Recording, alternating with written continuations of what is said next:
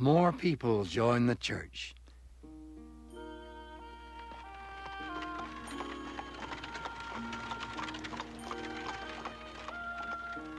Many weeks went by.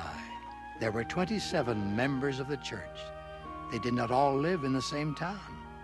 Joseph Smith asked them to come to a conference. A conference is a special meeting for all the saints. Saints are members of the Church of Jesus Christ. The saints had the sacrament at the conference. Some men were ordained to the priesthood.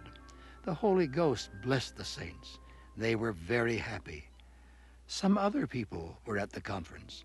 They were not members of the church. They learned about the gospel at the conference. They wanted to join the church. They were baptized. After the conference, Joseph Smith went to another town. Some good people there wanted to be baptized. Joseph said they could be baptized in a stream of water. The people built a small dam in the stream. They made a nice place to be baptized. In the night, some wicked people destroyed the dam. The good people built the dam again.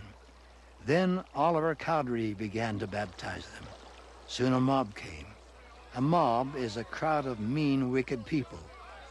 The mob said mean things to the good people. The mob tried to hurt them. But the Lord kept the good people safe. Satan wanted the mob to make trouble for the church of Jesus Christ. The wicked people told lies about Joseph Smith. They said he did bad things. Joseph was put in jail. Mean people tried to hurt Joseph. They spit on him. They would not give him food.